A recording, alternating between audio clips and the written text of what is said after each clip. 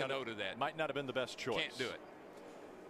Pace truck makes its way off of the racing track, and that means that we have our second attempt at a green, green, white checkered.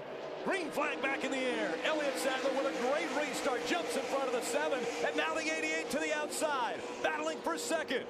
Crafton took advantage of that big draft to move to the inside. 51 point Almirola's coming with back him. Elliott Sadler dives into turn number one. Here comes the 88 to the inside. 88 hit those bumps. It cost him a little. Had to check up just a teeny bit, but he's going to come out looking pretty good here. But the 18, whoa. Great run for Kasey Kahne in the 18. He was just behind the two. Elliott Sadler said, I'm not going to give you a draft. Boy, Moved over in front of the 88. That was actually a really smart move on Elliott's part. Keep them side by side behind you here. Oh, he's loving that as he looks back. And of course, the short chute, it's hard to. The 18 is going to be able to clear the 88, I think.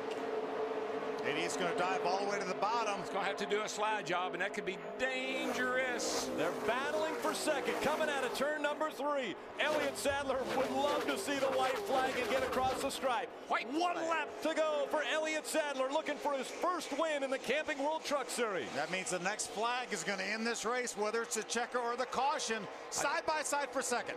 I don't see anybody catching that two truck from here. Mike Skinner trying to make this an interesting battle for that second spot as he was looking down below the 88 of Matt Crafton.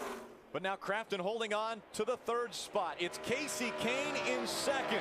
When those two trucks, when the 18 and the 88 got side by side just for a lap or so, that allowed uh, Elliott Sadler in the two truck to drive off and leave these guys. Kahne's going to make a great run at him, but I just don't think he's got enough to get there. Through the tunnel turn. One more turn to go for Elliott Sadler. Elliott Sadler, another driver looking to complete the triple. He's got a win in the Cup Series, a win in the Nationwide Series, but Here he's he looking comes. for the first win in the Camping Clear World Truck. Series. Pole sitter, Elliott race Sadler is going to win the first race your at man. Pocono for the Yeah. trucks. Look at these trucks, three and four wide up in the top 10. All right. That's fun. What a great run for Elliott Sadler, that entire KHI team. GT Vodka. You know that's Greg Sacks' company, him and his sons, GT Vodka. I know. I, re- I heard that we were in Daytona back in boys, I got July on the uh, the way behind nationwide race. That's Greg right there. Woo, Jumped up to congratulate Butch Hylton, the crew You chief. deserved it, buddy. That was a great run, man. Thank you, buddy.